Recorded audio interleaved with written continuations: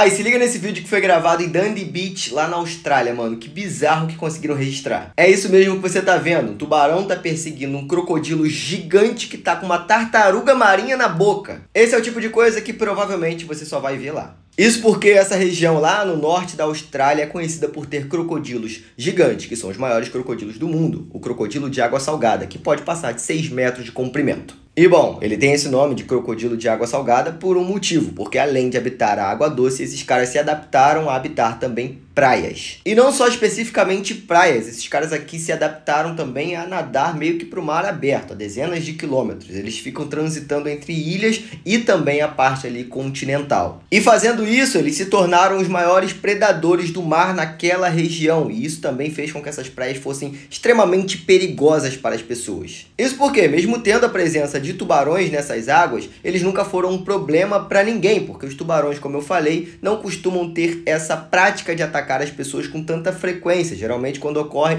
é uma mordida exploratória. O animal não está tentando realmente se alimentar da pessoa. Mas com os crocodilos é diferente. Esses caras simplesmente conseguem se alimentar da gente e todos os anos acabam tendo acidentes muito feios de pessoas que acabam se aproximando demais da área dos crocodilos e eles acabam matando as pessoas. Então, por serem os maiores predadores dessa região, até os tubarões entenderam que ficar perto desses caras aqui pode ser vantajoso, porque ele pode não conseguir comer essa tartaruga inteira de uma vez só, vai deixar cair um pedacinho ou outro e o tubarão tá pronto para poder comer as sobras do crocodilo. Para tu ver que até os tubarões já entenderam quem é que manda nessa região.